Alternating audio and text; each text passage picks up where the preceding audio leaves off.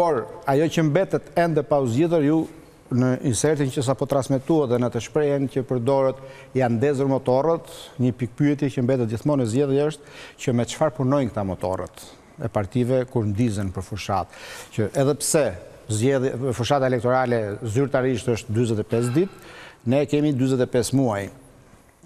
pasi nga njëra zgjedhje në tjetrën asnjëherë nuk pushon fushata realisht dhe pyetja që ngrihet është me çfarë parash i bëjnë partitë politike fushatat.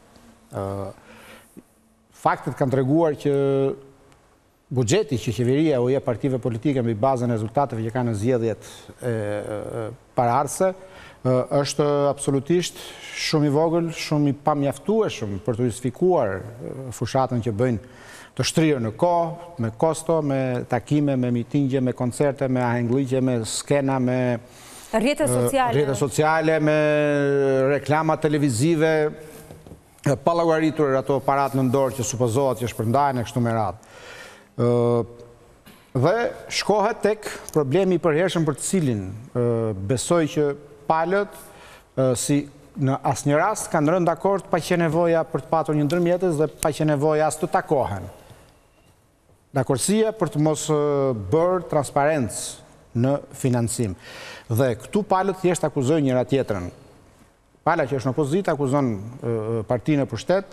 Në fakt, ajo që mbetet problematike është origjina e parave që ushqejnë, jo thjesht dhe vetëm fushatat, por gjithë partitë që paguajnë selitë, që paguajnë punëtorët, punonjësit, mhm. që paguajnë njerëzit që shkojnë poshtë e lart, qeveria që përdor makinerinë shtetërore për llogari të punës partiake, asnjëherë nuk është shkuar deri në fund, pasi ju folët në ato inserte për një lloj auditi. Në fakt, auditi që bën KQZ-ja është thjesht llogaritja e faturave që partitë politike, pasi ka përfunduar fushata, dorëzojnë atje. Dhe ato i bëjnë ato fatura që të jenë absolutisht në përputhje me ligjin.